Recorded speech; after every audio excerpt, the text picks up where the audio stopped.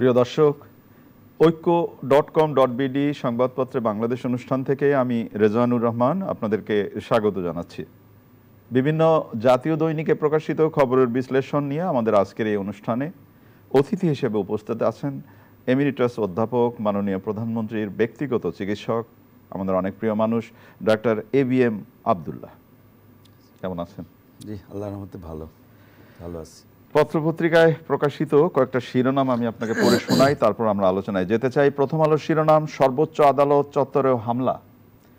সব ব্যাংকে ডলারের দাম হবে এক নব্বই টাকার নিচে। গুম নিয়ে বাংলাদেশের দেওয়া তথ্য অপর্যাপ্ত। সমকাল শিরোনাম করেছে পদ্মা সেতু চাপ নিতে প্রস্তুতি নেই রাজধানীর। ছাত্রলীগ ছাত্রদল ফের সংঘাতে ডেল্টা প্ল্যান বাস্তবায়নে সহযোগিতা দিন। কালের কণ্ঠের শিরোনাম, ঢাকা বিশ্ববিদ্যালয়ে আবার ছাত্রদল, ছাত্রলীগ সংঘর্ষ। অর্থমন্ত্রী বললেন, কর পরিশোধ করে পাচার করা টাকা বৈধ করা যাবে। দেশে একক রেটে বিক্রি করা যাবে ডলার। ইত্তেফাকের শিরোনাম, ঢাবিতে ফের অস্ত্র হাতে মহড়া, গুলি। ইমরানের আজাদি মার্চে জনসমুদ্র। বৈশ্বিক মন্দাতেও এগিয়ে যাবে দেশ, মাননীয় প্রধানমন্ত্রী বলেছেন। মানব জমিনের শিরোনাম, ছাত্রলীগ, ছাত্রদল, রক্তাক্ত সংঘাত, সশস্ত্র মহড়া। মাধ্যমিক সবচেয়ে, মধ্যবিত্ত সবচেয়ে নাজুক সময় পার করছে হজে জনপ্রতি ব্যয় বাড়ল উনষাট হাজার টাকা। বাংলাদেশ প্রতিদিনের শিরোনাম, আবার রণক্ষেত্র, ঢাকা বিশ্ববিদ্যালয়, অবৈধ ক্লিনিক ও ডায়াগনস্টিক সেন্টার বন্ধের নির্দেশ। জনকণ্ঠের শিরোনাম, অবৈধ ক্লিনিকের দৌরাত্ম আমাদের সময়ের শিরোনাম, ছাত্রলীগ ছাত্রদলের সংঘর্ষে সুপ্রিম কোর্ট এলাকার রণক্ষেত্র। সময়ের আলোর শিরোনাম, লাগামহীনভাবে বাড়ছে শিশু খাদ্যের দাম ঢাবিতে ফের উত্তেজনা, ফাঁকা গুলি। আমরা ডায়াগনস্টিক সেন্টার এবং চিকিৎসা ব্যবস্থা নিয়ে বেশ রিপোর্ট আছে। এই বিষয়টি হয়তো আজকের আলোচনায় শুরু করতে পারতাম। কিন্তু আমাদের শিক্ষাঙ্গন আবার অশান্ত হয়ে গেল এবং আজকের পত্রপত্রিকাগুলি যে সংবাদ আমরা দেখতে পাচ্ছি, সেটা খুবই উদ্বেগজনক। আমাদের সময় যেমন ছাত্রলীগ, ছাত্রদলের সংঘর্ষে সুপ্রিম কোর্ট এলাকার রণক্ষেত্র, বাংলাদেশ প্রতিদিনে আবার রণক্ষেত্র, ঢাকা বিশ্ববিদ্যালয় এবং এইভাবে নানা পত্র পত্রিকা জুড়ে এই খবর রয়েছে। তো আপনার কাছে কি মনে হয়? না ধন্যবাদ আপনাকে। চ্যানেল আইদের দর্শকদের শ্রোতাদেরকে শুভেচ্ছা জানাচ্ছি স্বাগত জানাচ্ছি। আসলে সকালেই তো দেখলাম অনেকগুলো খবর। তার মধ্যে সব পত্রিকা অনেকগুলো পত্রিকা আমার সামনে। একটা বড় করে হেডলাইন যে দিচ্ছে এই যে বিশ্ববিদ্যালয়ের সংঘর্ষ ইভেন এটা ছড়ায় পড়ছে সুপ্রিম কোর্ট এলাকায় তাই না?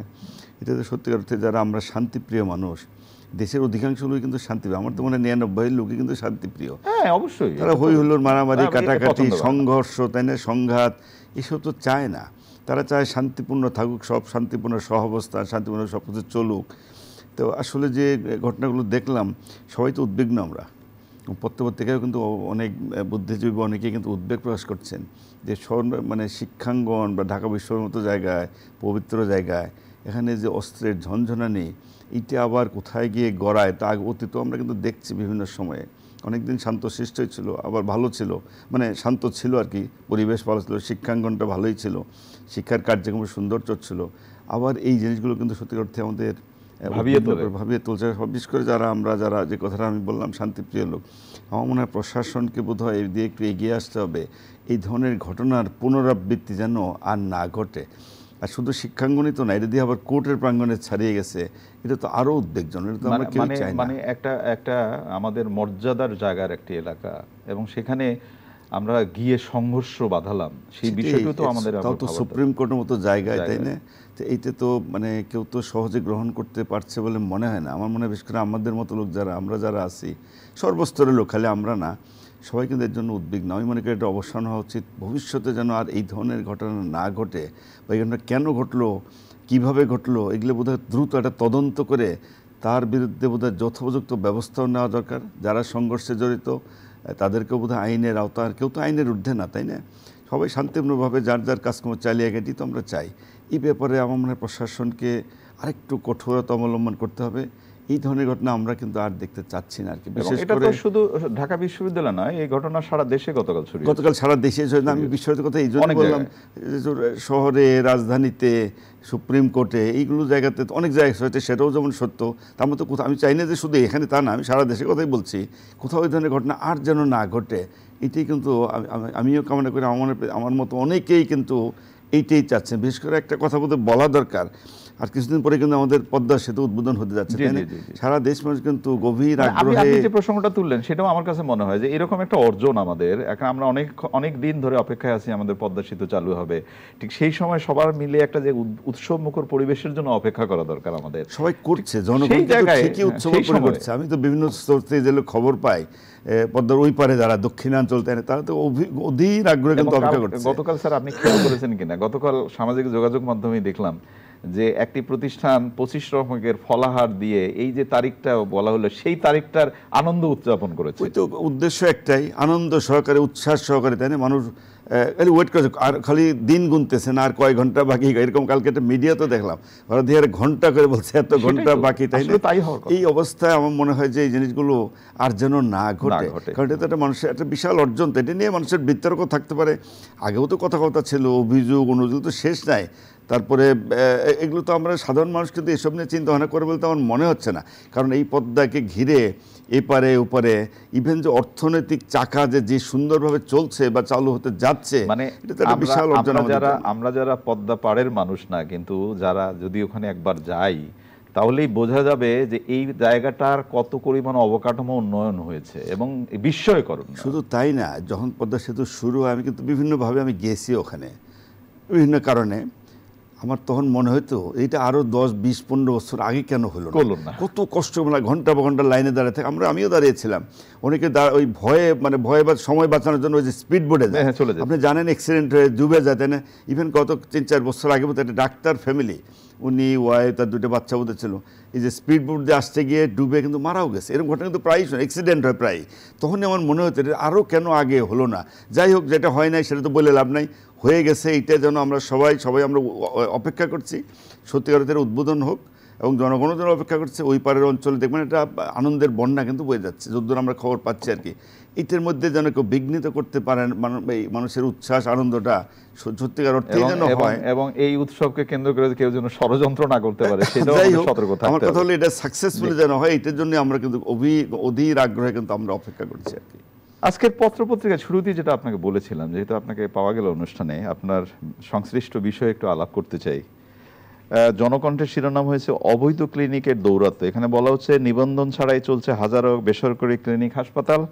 অনলাইনে আবেদনের টোকেন আর ট্রেড লাইসেন্সের ব্যবসা, অনিবন্ধিত সব ক্লিনিক বাহাত্তর ঘণ্টার মধ্যে বন্ধের আলটিমেটাম। তাই এতদিন কি করেছে এটা এই কথাটাও সত্য। সব পত্রিকা কিন্তু একটা বড় হেডলাইনও আসছে। কাল রাতে মিডিয়াও তো আমি দেখছি।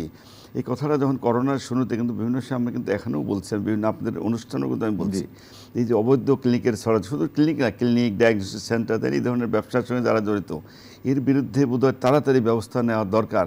হ্যাঁ যে কথাটা আপনি বললেন যেটা আগে কেন হলেন এটা একদিনে হয় না। কম না বাহাত্তর মানে ক্লিনিক বাহাত্তর ঘণ্টার মধ্যে কিন্তু হাজার হাজার তো। সেই তো বলছে হাজারে হাজারে একটা দুটো তো না। হাজারে হাজারে এটা কেন করা হলো না কি করা হলো কেন তারা এগুলো আগে খোঁজখবর নিলেন না? এবং তারা তো ওই এই অবৈধ ব্যবসাগুলো তো দিনের পর দিন মাসের পর মাস চালিয়ে তো যাচ্ছে।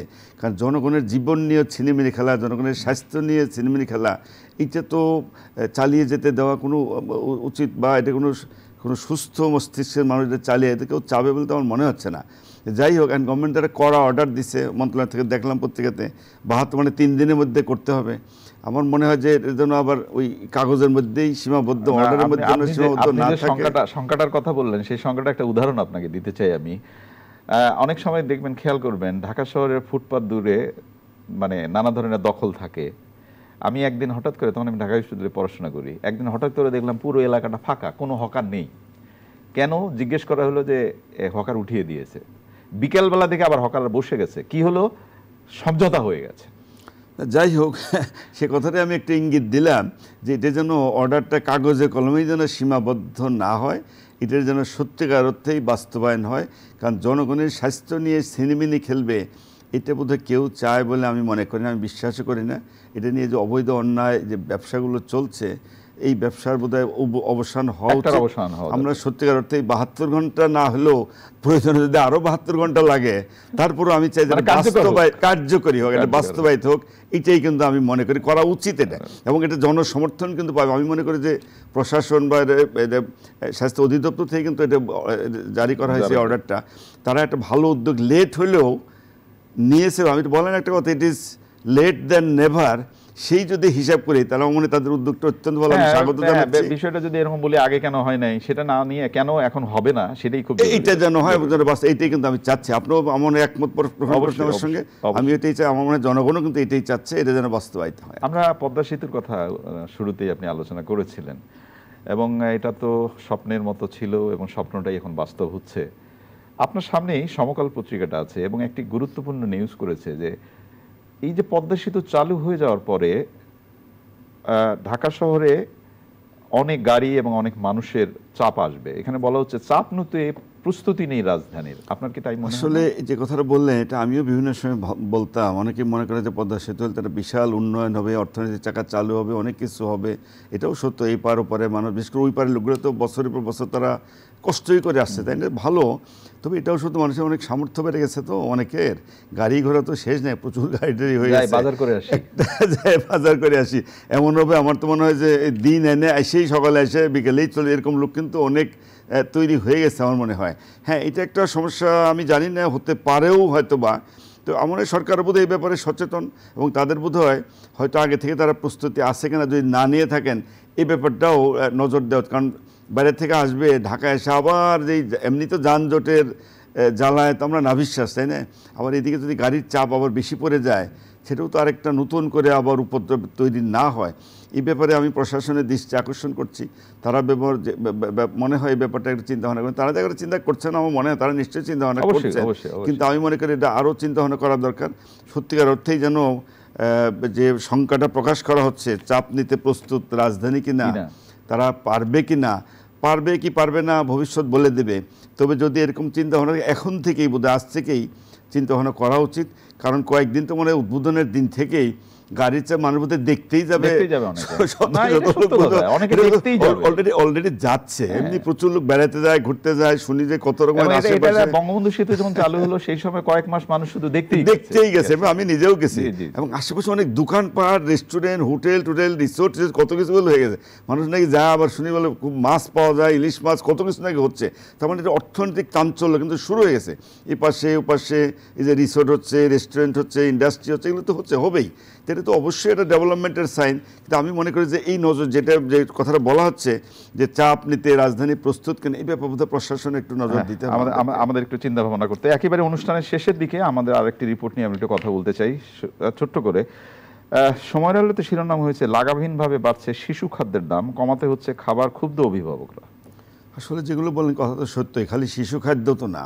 কোনো কিছুর দাম সব তো মানে কমে কত কোনোটাই তো না। আমরা যেটাতেই হাত দেবেন প্রত্যেকটা কিন্তু দাম বেড়ে যাচ্ছে। এটা তো অনেক কারণ রয়েছে। শুধু আমাদের এক এক দেশ, আমাদের সমস্যা। তো বৈশ্বিক সমস্যা, তাই না? বিশেষ করে আপনি জানেন যে করোনা গেল, তাণ্ডব গেল একটা, তারপরে আবার যে যুদ্ধ শুরু হয়ে গেছে, এটা সারা পৃথিবীতে কিন্তু তেল থেকে শুরু করে নিত্য প্রয়োজনীয় সব কিছু কিন্তু বেড়ে যাচ্ছে। এটা সত্য। তো বিশেষ করে বাচ্চাদের ব্যাপারটা বোধ হয় এটা বোধ হয় সত্যিকার তো অভিভাবকদেরকে অনেকটা ভাবিয়ে তুলছে, তাই না? কারণ সবার তো বিশেষ করে নিম্ন আয়ের লোক, নিম্ন মধ্যবিত্ত, গরিব লোক তাদের জন্য এটা কি বলব? এটা তো বিশাল। নাবিশ্বাস। অবস্থা হয়ে গেছে। তাই মরার উপরে খাড়ার কাজ এটাকে বলে মনে হয় প্রশাসন এই ব্যাপারে তারা প্রশাসন যথেষ্ট সচেতন। এই ব্যাপারটা বোধহয় আরেকটু সহৃদয়ের সাথে হ্যাঁ, বিবেচনা করে নজর দেওয়া দেখা যাতে এগুলো অন্তত ক্রয় ক্ষমতার মধ্যে যেন চলে আসে এই জন্য পদক্ষেপ নেওয়া উচিত। অনেক অনেক ধন্যবাদ আপনাকে। প্রিয় দর্শক আমরা শেষে যে বিষয়টি নিয়ে কথা বললাম শিশু খাদ্য সহনীয় পর্যায়ে যেন দাম থাকে সেই চেষ্টাটা বোধ করি আমাদের করা দরকার। দাম বেড়েছে যুদ্ধের কারণে, নানা কারণ বলতে পারি আমরা। কিন্তু আমরা কি কেউ কেউ সিন্ডিকেট করে দাম বাড়িয়ে দিচ্ছি না তো? এই প্রশ্নটি রেখে আজকের অনুষ্ঠান এখানেই শেষ করলাম। আগামীকাল নিশ্চয়ই এই সময় আবার কথা হবে। খোদা হাফিজ। মার্কেটে যেতে হবে না, দোকানে দোকানে ঘুরতে হবে না, করতে হবে না দামাদামি। সালোয়ার কামিজ